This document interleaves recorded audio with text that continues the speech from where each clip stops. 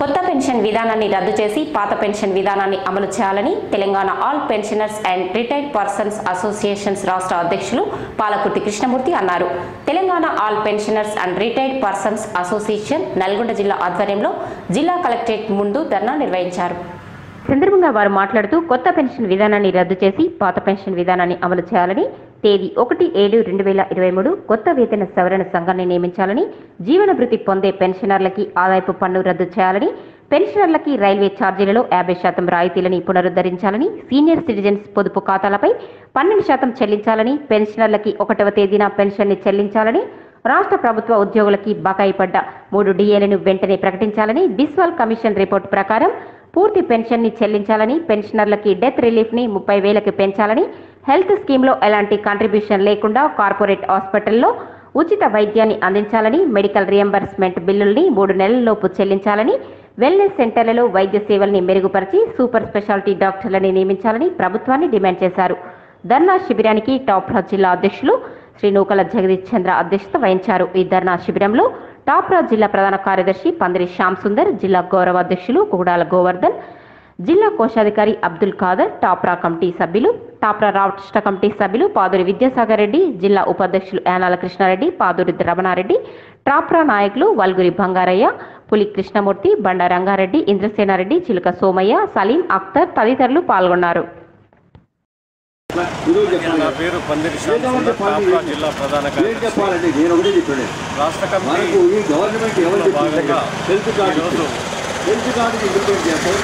దగ్గర జరుగుతుంది.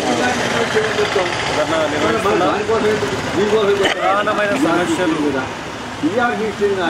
బర్డెన్ ఏమాత్రం గవర్నమెంట్ మీద బర్డెన్ పడినటువంటి సమస్యలే తప్ప ఎలాంటి ఆర్థిక భారం పడేటటువంటి సమస్యలు ఏమీ లేవు మరి ఇది ఇది కూడా మేమేం చేయాలంటూ అడుగుతున్నాము ప్రభుత్వాన్ని రాష్ట్ర ప్రభుత్వాన్ని ఒకటో తారీఖున జీతాలు ఇవ్వమని దానికోసం మనం కొట్టాడొచ్చు కదా మనం ఎందుకు ఎందుకంటే ఒకటో తారీఖున జీతాలు రాకపోతే చాలా మంది ఇల్లు కట్టుకొని దాన్ని మనం ఇంటిలో తీసుకుందాం. వాటిలో గవర్నమెంట్ ఎక్కువ సెల్ఫ్ కార్డు ఎవరు చేద్దాం డిఫాల్ట్ లోపల అవుతున్నాయి గవర్నమెంట్ హాస్పిటల్ నిమ్స్ లాంటి హాస్పిటల్ కాబట్టి రాదు ఒకటో పెట్టమని తారీఖున చెప్తాం జీతాలు చెల్లించమని దాన్నే చేద్దాం మనం ఓల్డ్ ఎక్కువ పెన్షన్ దానికి ఎందుకు స్కీమ్నే పోవాలి? అమలు చేయమంటున్నాం.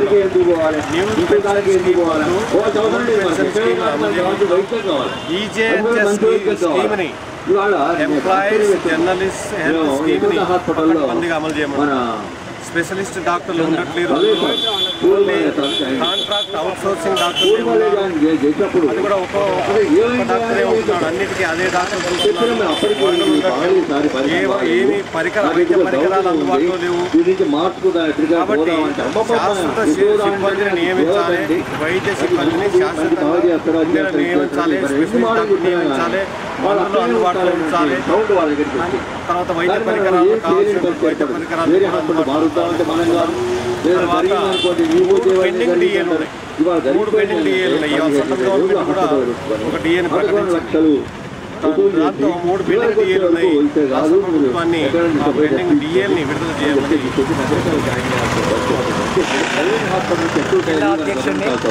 నా పేరు ఈరోజు రాష్ట్ర కమిటీ పిలుపు మేరకు అన్ని జిల్లా జిల్లా కలెక్టరేట్ కార్యాలయం ముందు పెన్షనర్ల సమస్యను పరిష్కరించాలి అని చెప్పి ఈ ధర్నా కార్యక్రమాన్ని నిర్వహిస్తున్నాం అసలు పెన్షనర్ల సమస్య ఏంటి అని అనుకుంటే మనకు ఒకటి ఏడు రెండు వేల ఇరవై మూడు నుండి నూతన పిఆర్సీ ప్రకారం వేతనాలు రావాల్సి ఉంది.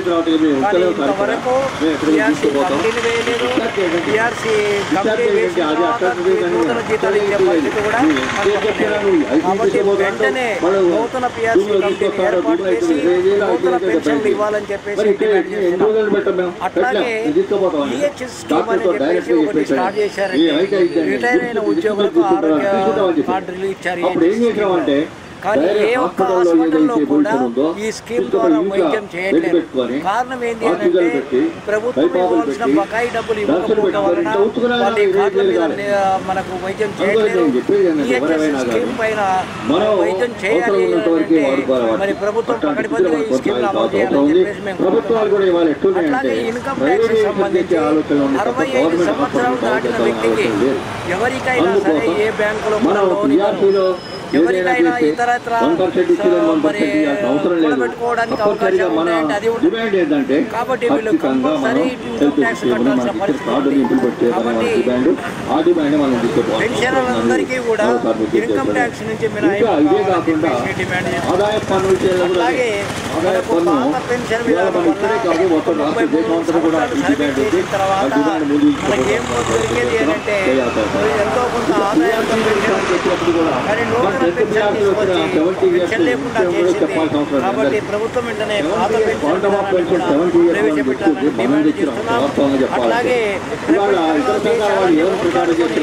శాంతి లేకుండా సామాన్యులకి ప్రపంచ శాంతి జరగాలని చెప్పేసి తెలంగాణ అసోసియేషన్ డిమాండ్ చేస్తుంది